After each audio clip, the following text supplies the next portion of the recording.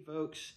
So good to see you tonight here at our uh, Bible study with First Baptist Church Soddy Daisy.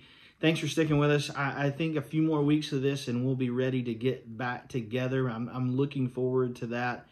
Uh, hopefully, within the next you know three weeks or so, uh, we'll be able to gather back together on Wednesday nights. We will keep you updated as soon as, with as much information as we can uh, and let you know as soon as possible when that's going to happen. So uh, not too long, but thanks again for sticking with us, for being a part of our, our Wednesday night Bible study. We'll continue uh, our best to do this uh, digitally as well. It just be in a different place uh, over in the in the sanctuary. Um, so we're we're kind of taking a, a, little deviation from what we had been studying, the prayers of Jesus. We'll come back to those in a little while, but I wanted to just spend a few weeks on on something that's really prevalent in in our world today uh, and that's suffering. What is suffering? Uh, you know, I, I, think the the age old question that's asked is, how can a sovereign God let good things happen to bad people, or let bad things happen to good people? The whole deal is it's it's a problem of evil. Is what is evil? Evil is existent in existence. What what is evil? How do we respond to it? What do we uh, do about it? What do we do about pain? What do we do about suffering? You know, the Bible never really provides explanation for all suffering. Doesn't really tell us uh, suffering is because of this or that. Uh, but we need to trust that uh, that that is grounded in evidence of God's working in our world. We need to trust that that God is is working in our world, and because of that, uh, we have hope in the midst of suffering. You see, what when we talk about suffering, Suffering is not our goal, of course. Faith is our goal. And today, I think we're going to look at over the next several weeks how we can, I guess, suffer for the glory of God, maybe is the right way of saying it. Uh, the next week or two, we're going to look at just a framework of suffering. What does the Bible say about suffering?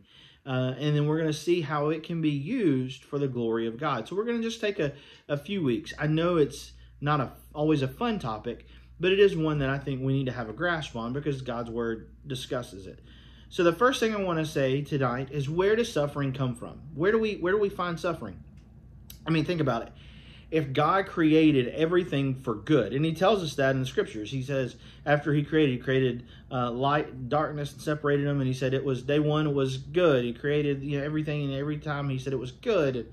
Um, if everything is good, where does suffering come in? Is it good?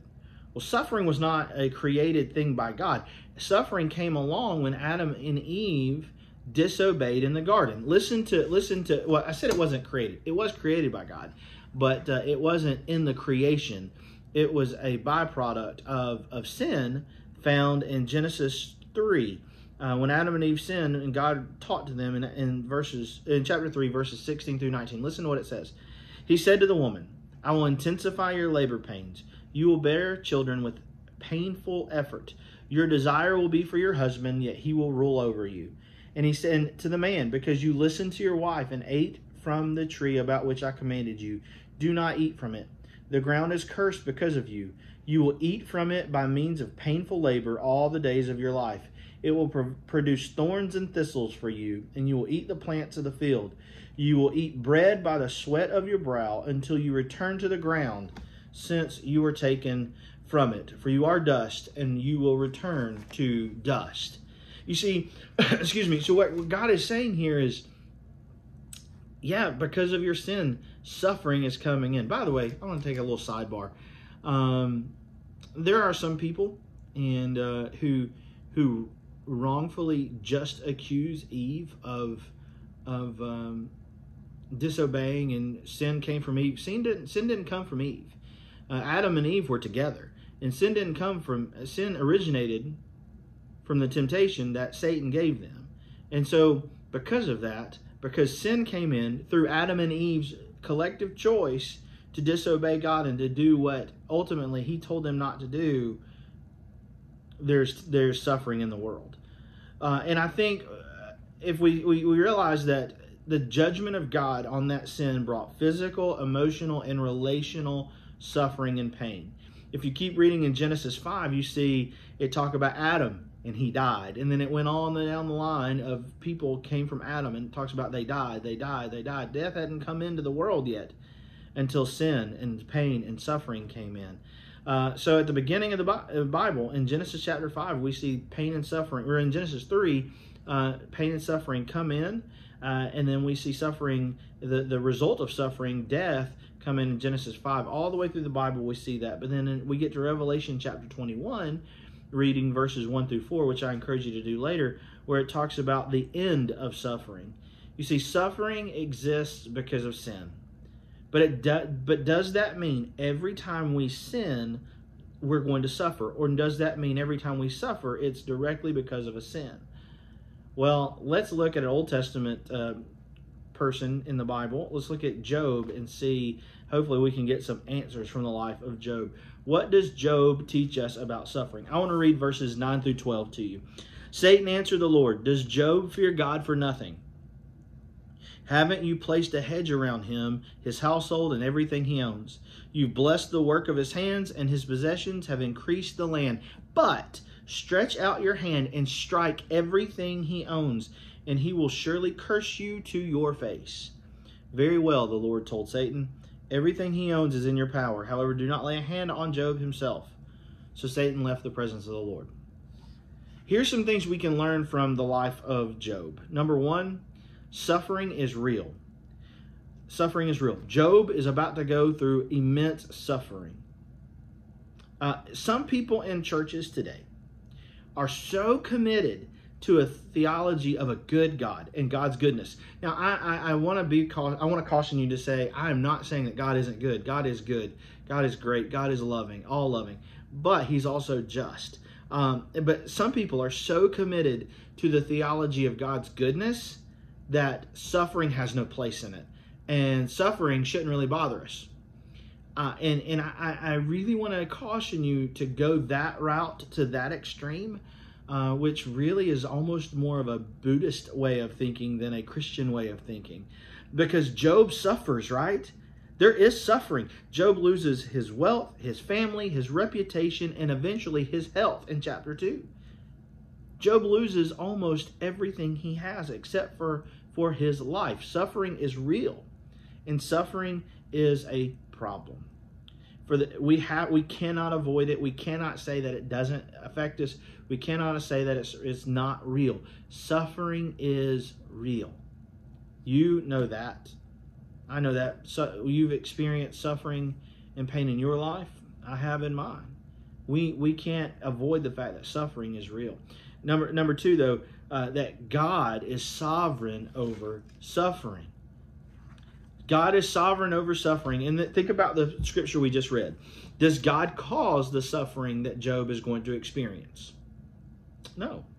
Satan causes it. But does God allow it to happen?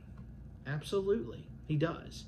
Um, God God allows Satan the opportunity to test Job in this way, to allow Job to suffer.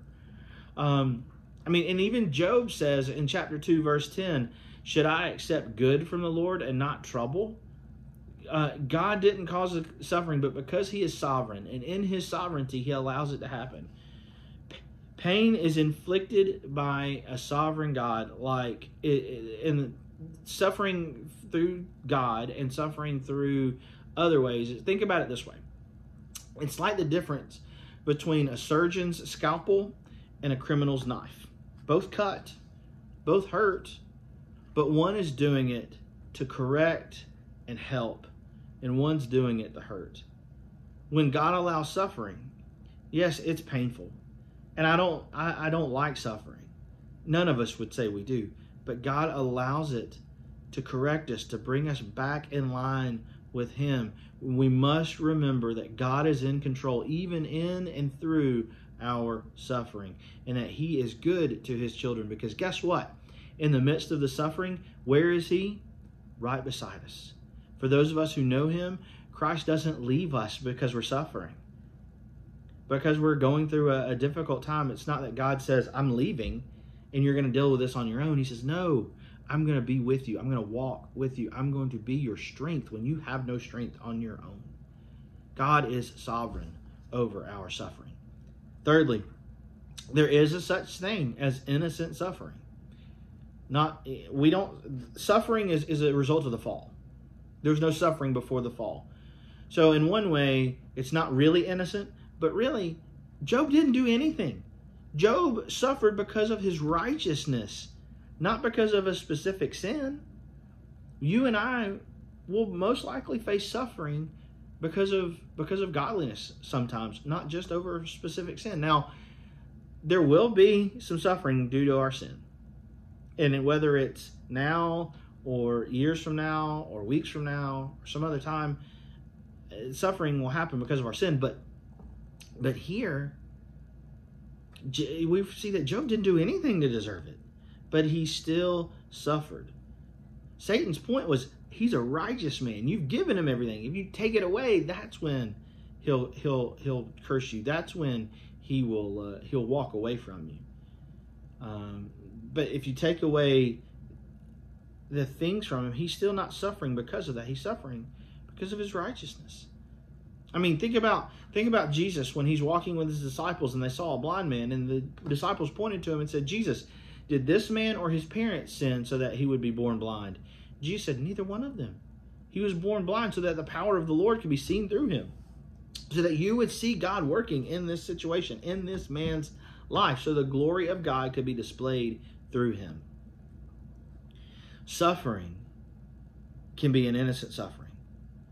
We must expect suffering because we live in a broken, suffering world. But lastly, in all of our suffering, we must trust.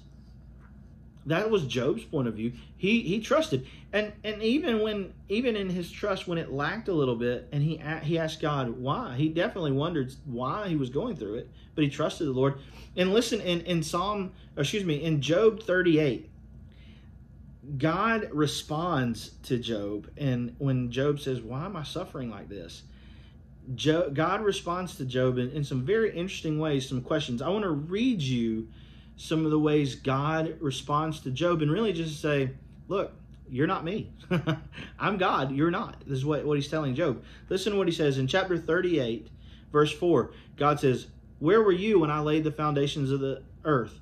Tell me if you understand. Verse 12, Have you given orders to the morning or shown the dawn its place? Verses 22 and 23 says, Have you entered the storehouses of snow or seen the storehouses of hell, which I reserve for times of trouble, for days of war and battle? Verses 31 and 32. Can you find the beautiful Pleiades? Can you lose the cords of Orion? Can you bring forth the constellations in their season or lead out the bear with its cubs? Talking about stars. Can you make that happen? I don't think so. In, in, in, chapter 40, verse 2, he says, Will the one who contends with the Almighty correct him? Let him who accuses God answer him. In verse 8, 40 verse 8 says, Would you discredit my justice? Would you condemn me to justice, justify yourself? What is God saying to Job? I'm in control. Trust me. Trust me. It sounds like he's being so harsh. But what he's really doing is he's reminding Job, hey, I'm God and you're not. Which I think is a critical uh, understanding if we're going to understand and, and, grasp suffering in our world and, and being able to deal with suffering that God is God and I'm not. There are some things that we just won't understand fully because we aren't God. We must trust in faith that God is still in control because we know He is. Suffering's found all over the Bible. It's not just in the Old Testament. Uh, if you eh, not just in the book of Job, if you look and go backwards and forwards in the Bible, you'll see suffering. In the ex, in Exodus, you see the the the Israelites suffer. Uh, when um, in in the book of Ruth that we just talked about a few Sundays ago, Naomi. Think about the suffering that Naomi went through with Elimelech, Mahlon, and Chilion dying and having to move back and all the things that she had. Uh, Habakkuk, which is going to be a sermon series that we're talking about next year basically is answering the question why do bad things happen to good people? Um, but think forward in the New Testament, the ultimate suffering. Think about Paul's life, first of all. Paul suffered much, but the ultimate suffering on the cross, when Jesus suffered on the cross, he didn't do anything wrong. It wasn't punishment for his sins, it was punishment for your sin and for mine. He suffered so that we ultimately we could have true life. In the end, throughout suffering, we can trust God that He is sovereign over all and in control no matter what. So, in just a little bit, at 7 o'clock, we're going to have a Zoom meeting just to discuss some suffering, what suffering is. And we're just going to take those points line by line that there is suffering is real, um, God is still sovereign. There's no such thing, or there is a such thing as innocent suffering, and in our midst of suffering, we must trust. And we're going to just talk about those.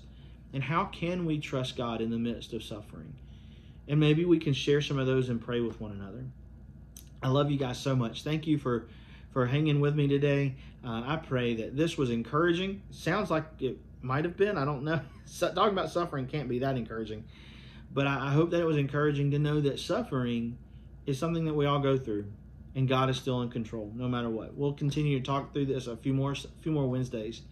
Um, and I, I thank you guys for being with me. Love you. I hope you have a great rest of your night and we will see you hopefully in just a few minutes over on Zoom. All right, bye.